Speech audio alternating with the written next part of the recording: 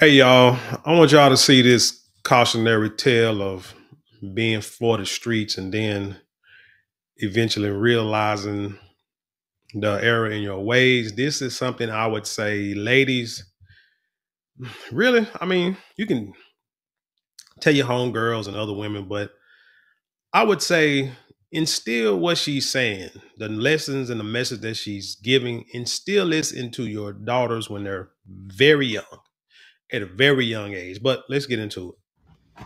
My first love, like my first man that I ever encountered with, did everything with, was supposed to be my husband. Basically, saying every everything she did with her boyfriend, you know, clapping cakes, going to the movies, whatever the case, said they should have been husband and wife. But I was the one that messed it up. Now, God revealed this to me right after I got saved, and He revealed this to me in a dream.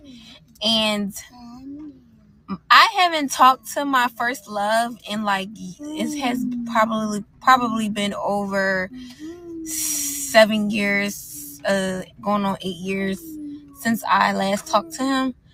Um, now She's when I was with him, I- Notice there's no ring on her finger, but you do notice that there's a baby in the background. That baby ain't seven years old, so let's continue. I was with him for about seven years, and I was he was like my childhood boyfriend.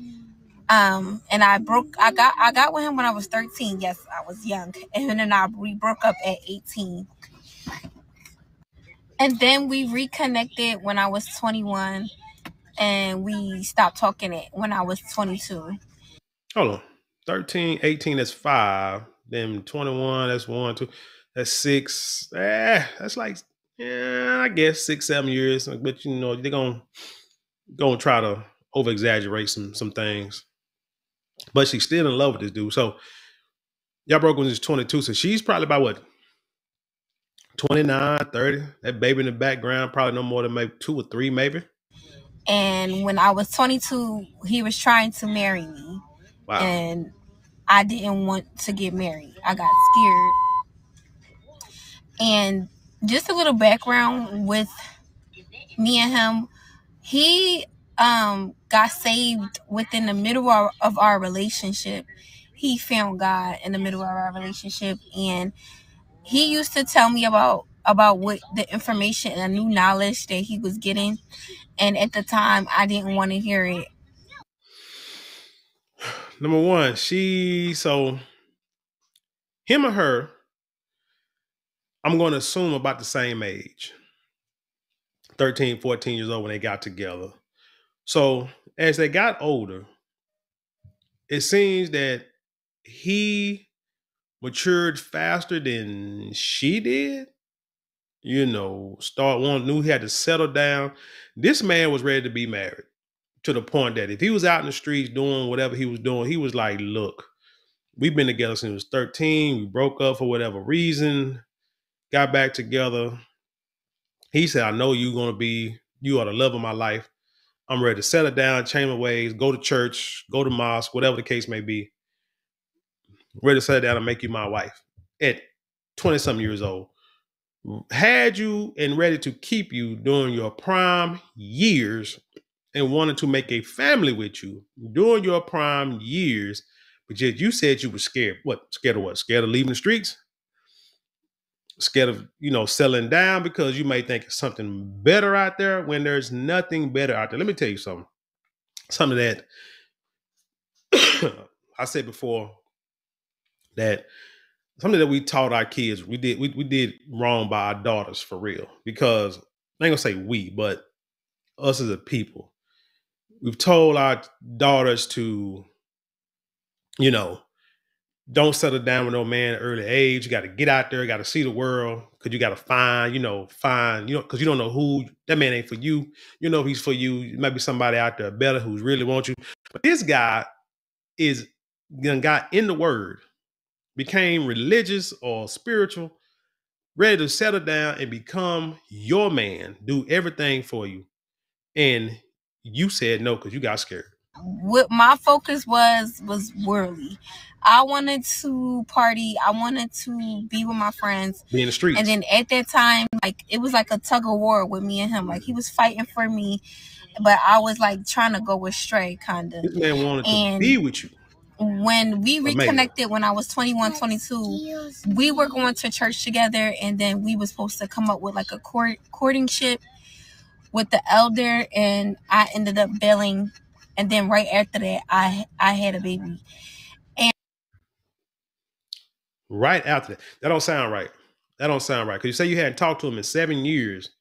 You said right after that you had a baby. I doubt it's right after that. You might have, like I said, that baby in that background ain't no more than maybe I give a three, two or three years old at the most. So it wasn't right after that, or you just can't do math. And at that time, like I just thought that he was just boring and he didn't want to do nothing. The good guy. He only wanted to go to church. Mm-hmm. he to get his didn't right. want to go out or travel or do anything that I wanted to do with my Trying to get his stuff right. You got all your, ten- you got your whole life to do that. Man, look at her. My mom probably has traveled more in the last few years than I have. My, and then, then I've known her and my sister, dad, all, you know, they got older, they still, tra- but you think you're going to miss out on something. The world ain't going nowhere. But that man did, though. their mind at my young tender age. And really, I regret it because I'm 28 now and like Yeah. the problems that we were having weren't problems that I had with other men. Like he was the first man that would ever like pray for me, that ever like talk about God. Like he was the first and only man that like wanted God to be in the center of our, of our relationship. And Like that was really a blessing, but I took it for granted and I thought that it was something better out here. Me being too selfish and too worldly.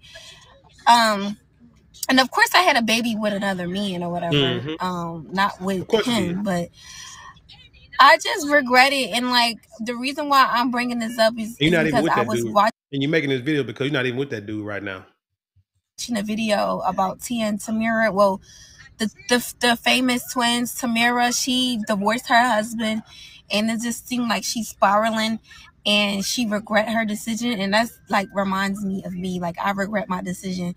Hey, you should regret it because you had a whole family. You had you had stability, and that's what women don't understand. You want stability, but you only want it when you want it. You don't want it when all the time. You're supposed to have it 24-7.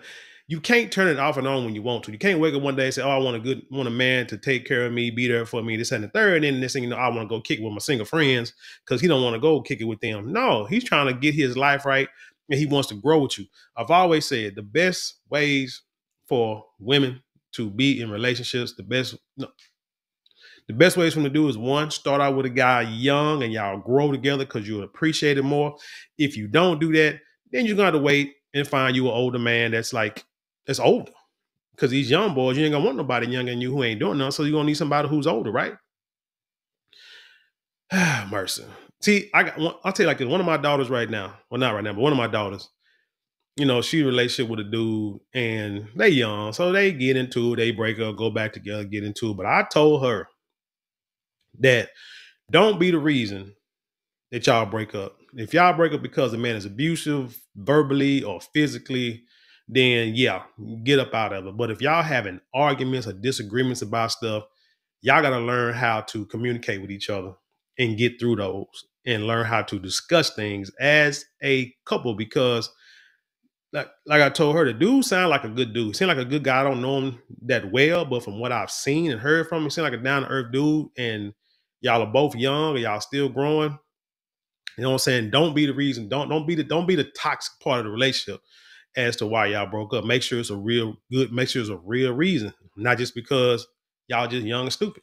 And I know that I'm making this video also is because I know that it's women out there that be like, oh, I want a man that's going to do this, that, and the third, that's going to cut my, pay for this and pay for that. Don't you want a man that's going to pray for you? Like, you should want a man that want, wants to pray for you, that know God, that want God to be in the center, that want to marry you without a doubt. And That's how it's um, supposed to start. like a lot of us got it messed up, and it's really the enemy No, they want to do this. Gonna cuss him out, call him the B word. How about four or five other baby mamas and stuff, and they just be on the back burner. That's what that's what that's what they want. That made me go astray from him because he knew that that was my like that was sent by God. Like he he was supposed to be my husband, and I didn't have to go like from men to men to men to, from man to man to find him. It was just like right there. Like God sent him first. And he had Put him in your to, the enemy got in my mind. And of course, Mhm. outside people was like, Yep. oh, you're not gonna um end up Single being with him. You need to explore. You need to find out probably if that's really what you want. And I'm here to tell you, if you have a God fearing man, a Mhm. man that's going to pray for you when things Yep. is hard, you got a good man. Great man. Regardless of the situation, if you want a man with a bigger bag, help him get a bigger bag. There you go. Like- be a help me, help him get a bigger. bag. That's what I'm talking about. And she's young, so hopefully other ladies will pay attention. It's really nobody out here for real. That's no, like ain't none of them streets. So I'm just saying, like I'm just coming on here to say, if you if don't don't leave your man for for for ten percent of what he don't got, 80 20. it's not worth it. Showing you don't want to be like me, like feeling like you missed the opportunity. And I don't know if he might come across this video, but I'm sorry. That cat's probably I mad now. didn't know no better. I was worldly. I was of this Yeah. world. I The probably know- probably married, and now it's probably be hard to get this brother because you have a young one, you have a child, a young child at that, and like I said, where's the baby dad at? You didn't really say where he's at. That's the that's the, that's that's the question need to be asked. And I think that's probably why she making this video because she see that, like she said, she done had different dudes and got the cheeks clapped by a bunch of different dudes, messed around and got pregnant by one, and that dude's not even there. And she's like, God, I had a great thing first time around, and I blew it. And she's being honest. And there's nothing wrong with being honest. Accountability. But I think she's probably feeling like she's at the bottom. Now, if she was making like a bunch of money doing it on her own and holla, I don't need no man, you know what I'm saying? She she probably wouldn't making this video, but she's making a video like most average women would probably make this video if they in her situation. But again, she's being honest, and I can't knock her for that. loved this world too much at one point in my life. And I changed. Like I realized he who loves the world don't love God. Period. So like don't leave your husband for your for for for a situation or a boyfriend. It's not worth it. Did she say leave your husband for a boyfriend? What? So did she say she left her man for somebody? Man, it's a lot going on in this video. But anyway, man, hey, like I said, this was a great lesson. I I like this video. She was honest. She put it out there. She was brutal with herself. She was held herself accountable, and she's telling y'all what not to do. You find a good man, stick to him. And fellas, if you find a good woman who's doing the same thing that she's doing, that she said he did, I mean, you know what I'm saying? You need to keep that woman and be right by her. Cause man, like I say, ain't nothing out here in these streets, nothing at all. But again, ladies, teach the young babies this stuff as they grow older. So when they get to her age, they know, ah, I know what I need to do because I've seen too many examples of how the way all these single women, aunts and moms and cousins are, and it's not working, and they are miserable. And they are miserable. And I can tell no matter what they say. But anyway, tell me what you think about this video, y'all. Leave your comments below, share it with the world. Let's have an intelligent conversation. Hey, don't forget to like, share, comment, and subscribe. Those four things cost you nothing but a couple of minutes out your day, but it means the world to us. Don't forget to go to marlonmaralli.com. That's marlonmaralli.com to get 10% off your first purchase or hit our store up in the description box below. And with that being said, I'll leave you in peace and I'll see you on the other side.